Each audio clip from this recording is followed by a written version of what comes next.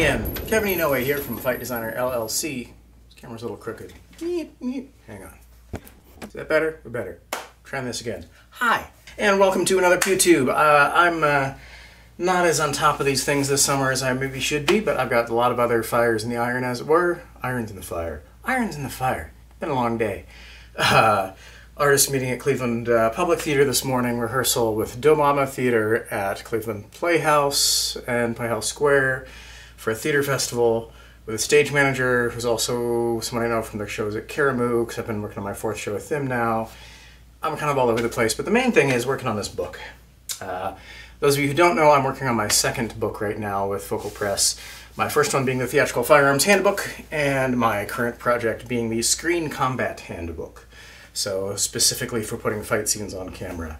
Um, kind of taking what a lot of the intro to stage combat kind of texts that are out there do for theatrical combat and trying to do something like that for uh, film stunts, but also adding in how do you shoot it, how do you edit it, how do you design for it, a lot of the other stuff that's more specific to camera work and video work.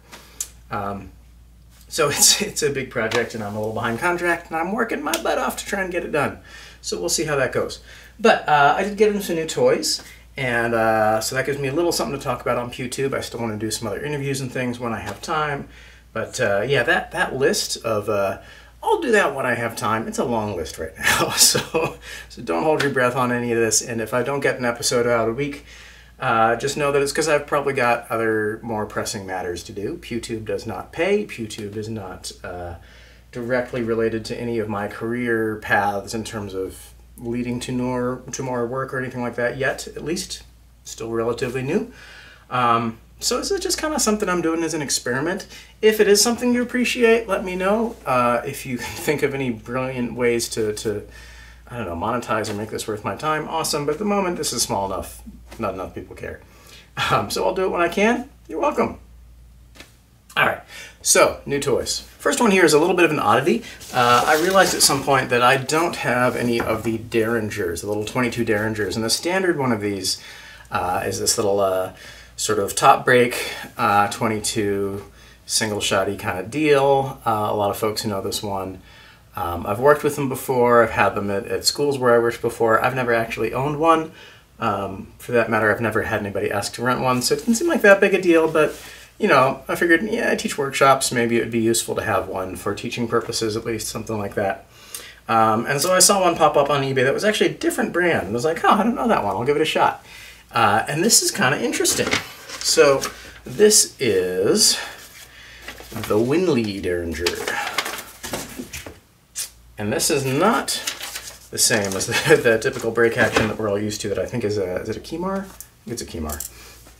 Um, it's obviously made to look about the same, but you can tell right off the bat the, the hammer is a little bit different. And when I actually got it, it's, it's interesting. The body here is mostly plastic. You can kind of see from the front, it's got uh, sort of metal liners, two-piece stamp-shaped metal liners kind of stuck in there just to help protect the plastic. But the exterior body is mostly this cheap plastic. Um, now the, the break action one also feels kind of cheap when I've used it before. That's part of why I've never bothered to get one. They seem like they'd wear out pretty quick. They were kind of pieces of crap. Um, so, you know, I was like, oh, this is a different brand. We'll give it a shot. Whatever. It was cheap. It was eBay. Who knows? Um, but this is something I have not seen before. And in this one, you take it to half cock, and then this thing, which in the, the, the break action one would be sort of the, the catch, you'd lift this up and then the barrels would hinge forward and allow you to load the 22 rounds in the front. This just comes out. So this is essentially a breech loading uh, mechanism of sorts, right? So this, this whole thing just pulls out and you can put your little 22 crimp blanks in there and then drop it back in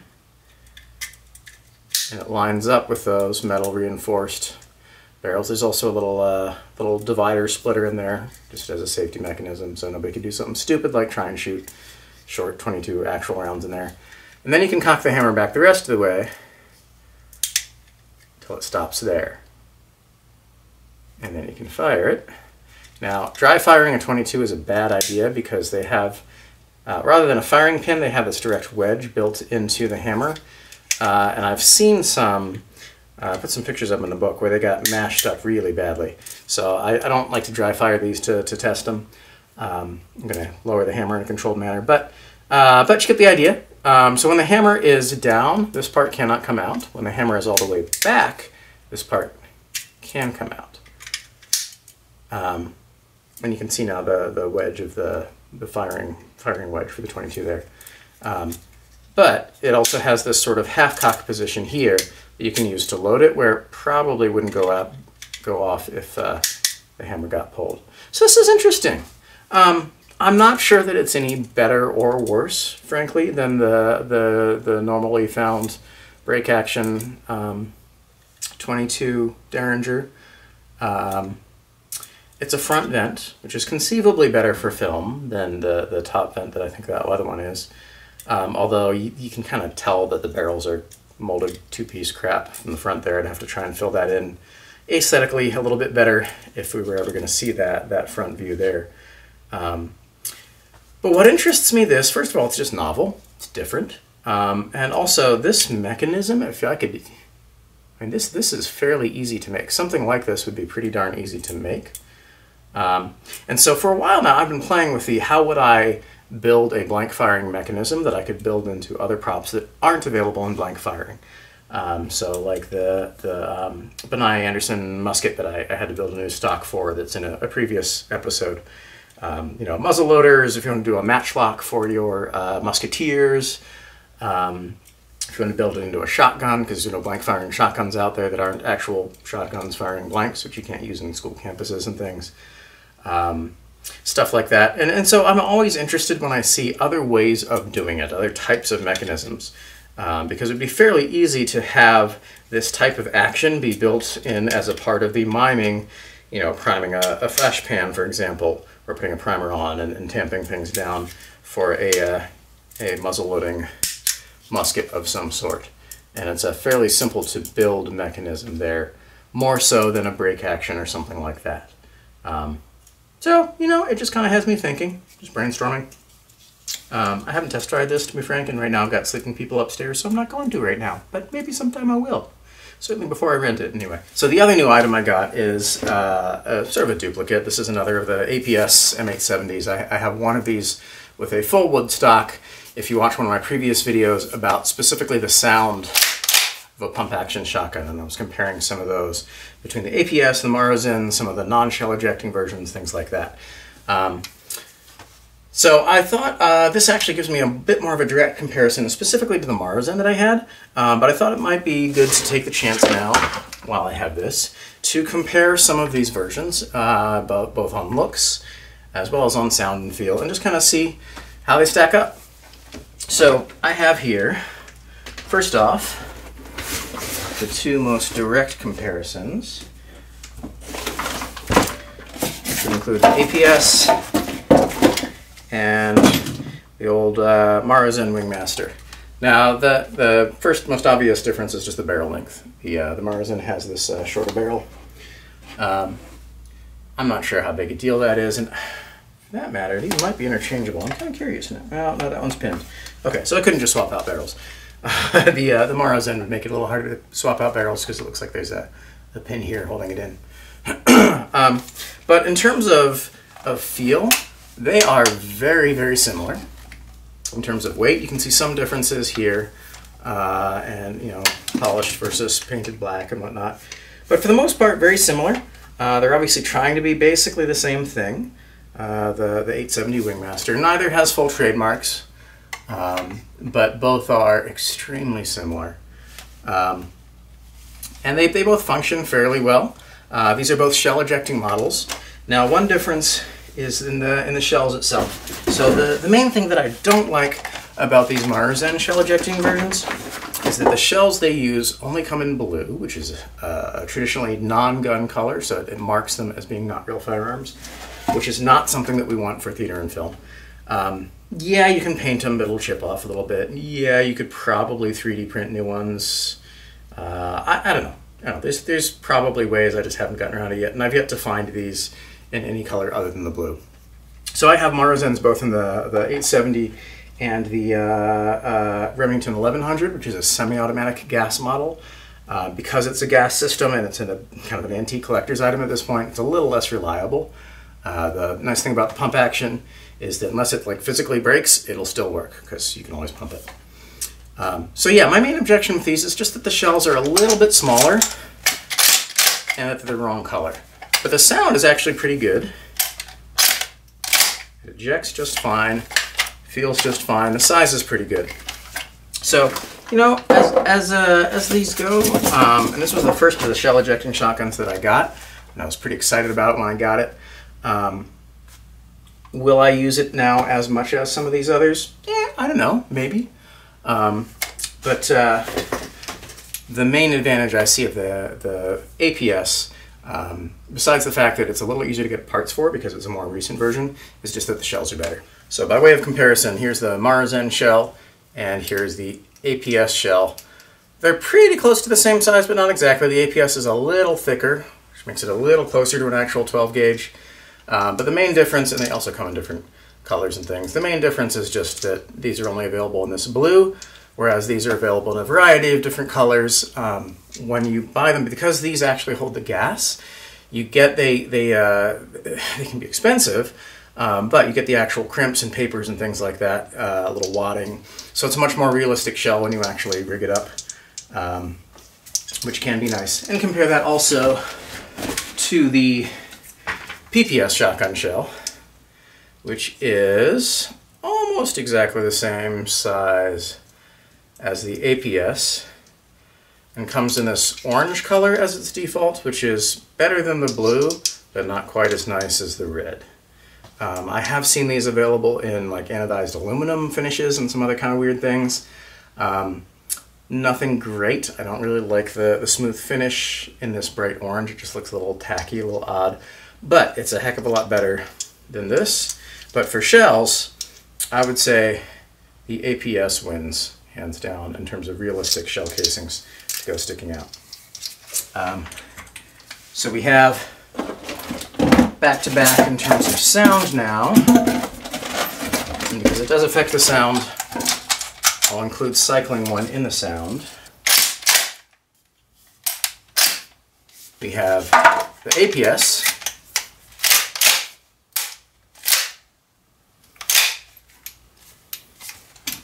And we have, still remove the orange tip from this one, the PPS. Oh, which is sticking a little bit. That's no good. This might be points off for the PPS if it's not gonna have smooth loading. There we go. That works. Huh. There we go. All right.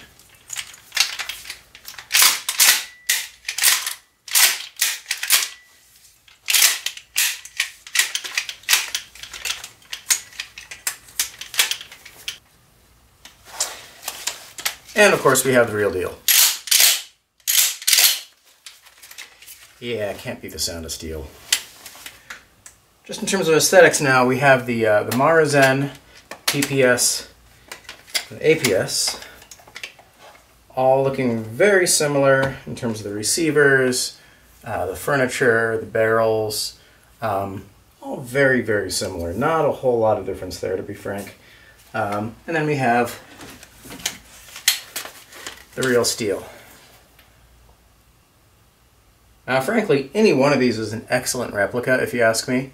Um, obviously, I still have to uh, take off the orange from the barrel of the PPS, clean that up a little bit. The uh, rail mount that I got on this one is also a little bit off, um, but it's not bad. Um, it's got that nice quick detach sling mount built into that mount there. Um, any of these, frankly, are great. Some of the replicas that I have, uh, some of the non-firing ones, I've had things break, like these, these metal bars here. So, you know, one question is just whether or not it's sturdy and also whether or not you can replace the parts. And this is really one of the problems that I've had historically with uh, different shell ejecting models, is that they tend to not make them for very long. Uh, a lot of them end up becoming collector's editions. Those Maruzen ones, I, I, I don't see those anymore. The uh, gas shell ejecting uh, P75s, 1911s. I never got one of the Glocks, sadly. Um, the, the, the shell ejecting airsoft pistols that were out two, three years ago. they're gone. You know, occasionally I'll see a magazine pop up on eBay, but the, the real ones, you know, maybe once or twice a year for like 400 bucks, which is another issue. You know, when, when something becomes more of a collector's item, is it still usable as a prop? What do I do for deposit? You know, if someone breaks it, I can't replace it. How do I how do I use that? How do I evaluate that? How do I uh, how do I charge for that? Um, can I find parts for any of these? So this is one of the, the interesting kind of side notes that comes up if you get into props rentals or you know just starting a props collection. Um, you know, this also comes up with the model guns like the KSC M93R that I showed in a previous video. Um, a lot of the model guns are now collector's items and, and uh, harder to find parts for, if at all. Um, and it's not like the blank firing guns where you can still just buy a new one and they don't sell parts and so you just replace it. But if it's something you can't get, like you know, even one of the, the rarer blank firing guns, like the the Zoraki 917s, that uh, the, the sort of Glock copies that nobody in the U.S. sells anymore. Um, you know, I recently tried to buy some more of those from overseas, and custom seized it. I was able to get my money back for the props, but I did not get all of my money back for the shipping. And this is the risk that you take if you try and order stuff from overseas, even if it's stuff that is legal in this country. Um, yeah, let alone if you try and order something that, that you're not sure, like the, the suppressors that work with blank guns. I haven't gone there yet. but even if it's something you know is legal in this country, it might get seized by customs and you might never see it. You might never get your money back. Um, so when you have these rare items, it becomes a challenge. It's cool to be able to offer something that a lot of other props houses can't offer, including these shell ejecting replica shotguns that are, are relatively rare. You know, the, the PPS and the APS are still sometimes found. A lot of places, and now we're out of stock on them. And I imagine they're probably going to come become collector's uh, items as well in not too long, um, like the, the Maruzen did. Um, you know, it's cool to be able to offer that. And there are places, people who, who, who need that for their production. Um, but it, it is a challenge because you, you can't put an easy value on it. You can't replace it. You can't fix it. People will say, hey, will you sell it? And I have to decide, like, you know, maybe no because I can't replace it. But then on the other hand, if someone rents it and then loses it or breaks it or just keeps it and they pay the deposit, basically I am saying I'll sell it. Um, but maybe I just put a really high deposit on it. So if I am going to sell it, I'm going to sell it for a good price because I can't get another. Um, yeah, these are some of the challenges you run into with, with, some of these more exotic items. So something to think about, um, both if you are in this business yourself. I know we've got a couple of fans on the Theatrical Firearms book page on Facebook and, and on YouTube who are in this business as well. Um, and I, I, welcome my, my peers in that sense. Um, but also if you're a client and you're having to decide, hey, do I want to rent that exotic prop, knowing that I'm responsible for replacing it if it goes wrong and it can't be replaced, so that might get expensive. Just something else to throw out there. Um, so I do try to make sure that my clients know about these things when I rent them. Uh, I am upfront about the replacement costs. That's in the contract. It's in the paperwork. Um, but these are all these are all things that you have to consider. If you are a client and you're receiving the paperwork and you're looking at the credit card deposit form for the charges you might be responsible for if things disappear, get broken, never come back. Uh, it's like, whoa, why is the deposit for this blank firing Glock 17, um, you know, twice as much as the deposit for this blank firing Beretta 92? They shouldn't be different. It's the same brand, it's the same build quality. Well, the answer is because one of those I can replace and the other I can't because they're not being imported anymore. Um, so these are some of the considerations that you need to think about when you're when you're renting props. so uh, I need to get back to my book. I need to get back to some of this stuff. So uh, I'm going to go ahead and call it a night. But uh, oh hi, yes hi Tibble. Sorry, my cat's helping out. You want to say hi? You want to say hi? You want to say hi to the camera? No. He's a professional. Never look at the camera.